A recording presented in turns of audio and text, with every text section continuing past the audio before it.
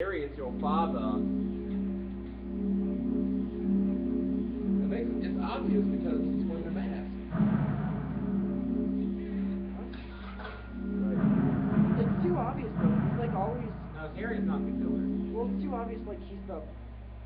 I'm hungry. Pickles?